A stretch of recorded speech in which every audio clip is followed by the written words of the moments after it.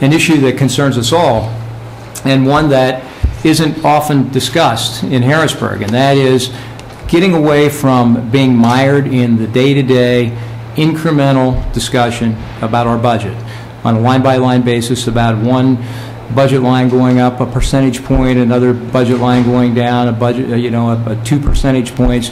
We need, we've lost touch, and we need to get back uh, on, on track in looking at the trends and the structural deficiencies of our budget over a period of time. And for those, those who may not know us, I, I'm Stephen Bloom, State Representative, and, I'm John Eichelberger from the State Senate. and really what we're about today is providing some context, the big picture of what it is that's burning up our Pennsylvania budget. and why we're in a situation that really has led us to a, a a very real fiscal crisis in Pennsylvania. Uh, The first chart that we have for you is one that should scare even the most liberal folks in Pennsylvania. And that, as you can see, is the trend we have for our spending in this state. This is our state budget spending. It's gone up since 1970 from $4 billion in our total operating budget to over $63 billion. Uh, With inflation-adjusted dollars, that's a 146% increase. And uh, for a family of four, for a family of four, that's gone up $11,800 in inflation-adjusted dollars. And the question that that brings to mind is, are we 146% better served by our government now than we were in 1970? I wouldn't make that argument. I wouldn't make that argument either. And, and and without doing significant reform, we're not changing that.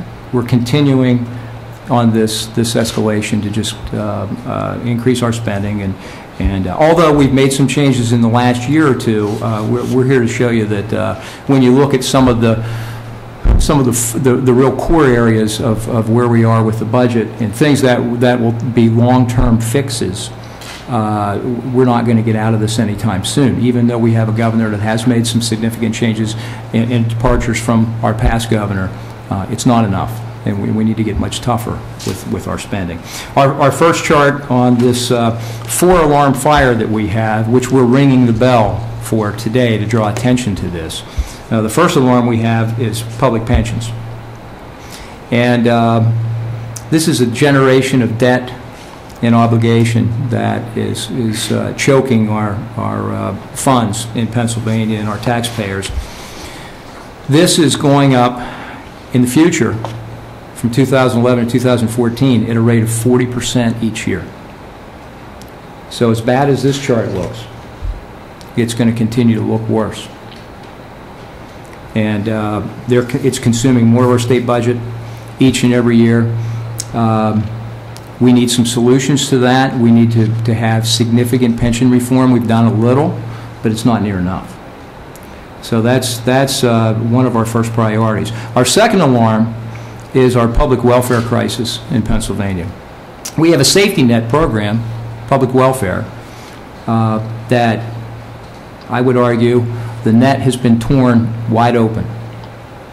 And until we mend that net, we have uh, too much going through it. And we've opened the doors wide in, in that, uh, in that arena.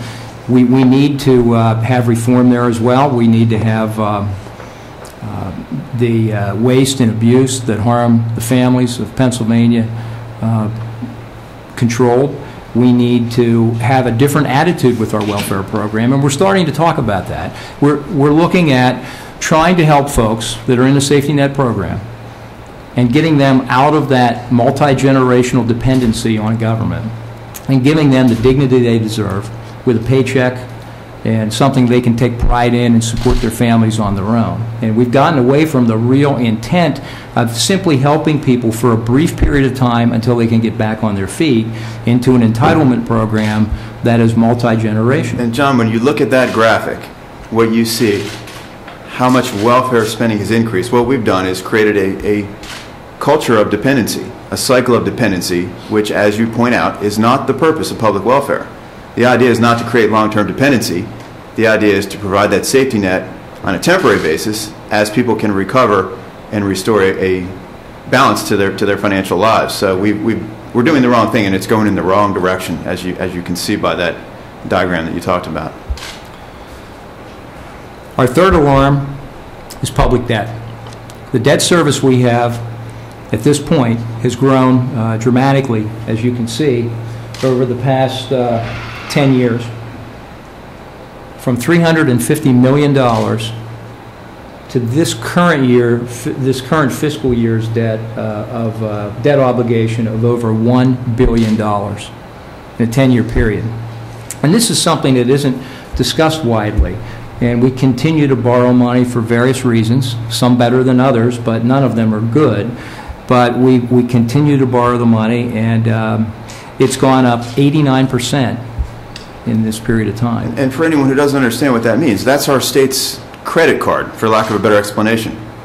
This credit card is getting a balance on it that's unsustainable and gets bigger every year, even in a year like last year, where everyone knew that times were tight and we had to cut back, that debt continues to grow because it's, it's on fire. It's, it's burning up and we're not, we're not able to, to put it out so far. And, and again, over the next several years, it's projected to grow 7.3% each and every one of those years. So this is not the peak. It's going to continue to grow without borrowing any more money. And there's certainly a lot of proposals out there to borrow more money. Um, We, you know, in Pennsylvania, with combined state and local government debt, we're looking at uh, almost $10,000 for every man, woman, and child in Pennsylvania is, is what we're at at the moment. And that, again, It's only going up. We'll get deeper, that's right. The fourth alarm is corrections in our budget. This is a, this is a, uh, a very significant problem that, um, again, isn't on everyone's radar screen, and and it should, it needs to be. Pennsylvania spends about $35,000 for each prisoner we have. We have um, a recidivism rate that is, that is not better than most states. We have a crime rate that is not better than, than uh, many states. And um, our incarceration rate has climbed uh, just dramatically. It's gone up 500% since 1980. We've built 18 new prisons since 1980. Um, And even with 18 new prisons in Pennsylvania, we're 13% over our capacity, over our bed capacity, as we sit here today. So we've continued to lock up a a huge segment of our society, and uh, we- we're not changing the criminal element the the way we need to change them, so that we don't have the um, the cost, and we don't have the social benefit of having people come out that um, have some kind of new attitude where they'll go back and be more productive members of society. And again, when you look at the next three years, this growth is expected to be 6.9% each and every one of those three years. So again, we have um, a continuing problem that is only going to magnify over the next several years. So the house is on fire and it's a four-alarm fire. That's right. Well, how do we respond to that emergency? It's, it's a situation that cries out for someone to, to start dumping some water, some, spraying some foam, whatever it takes to, to get this fire under control. And quite frankly, there is some good news in the budget that was proposed by the governor. It's not, it's not all bad news. There's some water going on the fire. Spending goes down under the governor's new budget for the second year in a row. That is, that is truly unprecedented in Pennsylvania history. It was 40 years between overall budgets that actually went down. The first one was, was cut last year. This year, we have a second year in a row where the governor has now proposed reducing the overall amount of money that the Pennsylvania government spends. So that's good news. That's some water on the fire. But the bad news, right in that budget, and you could think of it as almost a uh, adding some, some gasoline to the fire instead of some water, is the fact that even under this budget, which reduces spending for the, the upcoming 2012-2013 year, we're still projecting to spend more than we take in as a state. Well, common sense tells any of us that that's not sustainable. That's how this fire got to be the raging fire it is today, and we're still looking at a budget that does more of that. We need to get realistic and project revenues and expenses, expenses that will match rather than spending that will exceed the amount of money we're bringing in. And this, and this is the same discussion that people have at their kitchen tables about their own family budgets. We, we can't spend more money than we, than we bring in, and we have to adjust our, we have to set our priorities and adjust our budget accordingly. And we don't do a good job of that in Harrisburg, and we certainly don't do a good job of that in Washington either. But uh, this is, this is the reality, and, and it's, it, it it escapes us sometimes, again, as we're, we're we're mired in the minutia of each budget line item to look at each one and, and uh, try to, try to accommodate all the different special interest groups as we work through the budget process in Harrisburg. And if, if spending is throwing gasoline on the fire, it's almost as if there's some cans of gasoline sitting in the house that's already on fire, waiting to explode as soon as the flames get nearby, which is the, the debt and the pension obligations that, that you talked about, John, and that are getting bigger every year, despite the fact that we're trying to bring those under control. This state has not done enough to bring the debt down and to bring the consistently growing pension obligations under control. Even for new employees, even for, for newly elected officials, in many cases, we are qualifying for those same sorts of pensions that got us in all the trouble that we're in now.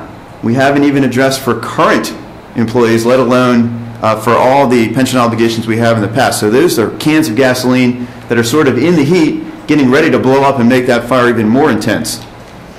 Another big issue is, is the fact that while we've level funded for corrections under the upcoming budget as proposed by the governor, that's a, an ongoing problem that hasn't really been addressed.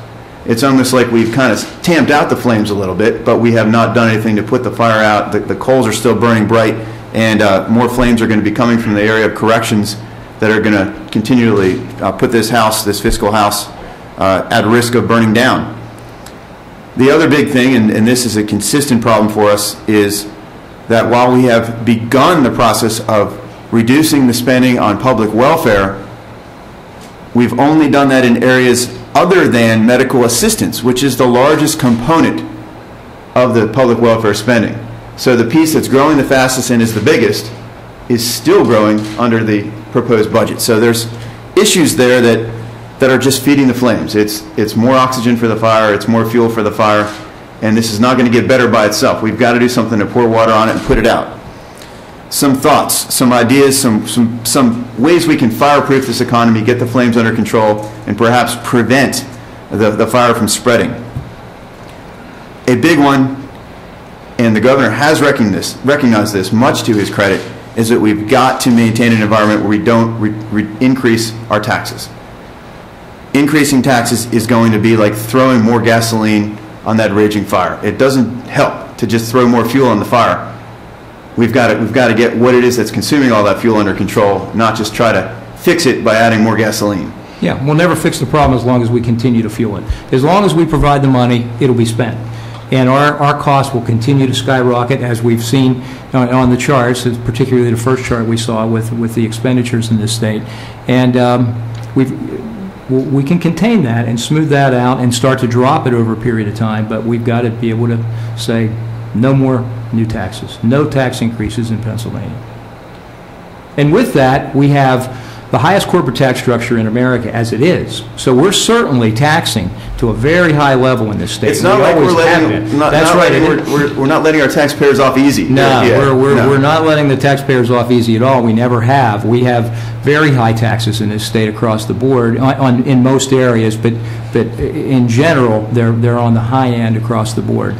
And uh, making them higher, and then, you know, you always have the double-edged sword of, we- you, you raise taxes, and then people spend less. Uh, it- It's less business-friendly for- to attract people into Pennsylvania, to- to to grow jobs and prosper here. So we're, we're in the process of um, raising revenue under the the Rendell years and driving people away from Pennsylvania And the price we pay for those high taxes isn't just the pain of paying taxes, it's losing entrepreneurs and employers right. and growing and thriving businesses that choose to, to relocate in other areas where, where taxes are lower. It's a competitive environment we're in. These jobs aren't, aren't just going to come to Pennsylvania and stay here because we're here. They will go to where the conditions are, are most favorable. Uh, And we are continuing to lose jobs in Pennsylvania to other states and other countries where the tax environment is more favorable. So this isn't a theoretical discussion about, do you like high taxes or don't you like high taxes? This is about economic survival and the possibility of putting Pennsylvania back in a position where we can compete effectively against other states and other countries for high-quality, family-sustaining jobs. Right. Understanding that this is a very competitive environment, and we can't compete with high taxes. We've got to live within our means. Another, another huge step to getting these flames out is stopping this idea of creating a budget where we plan to spend more than we're planning to take in.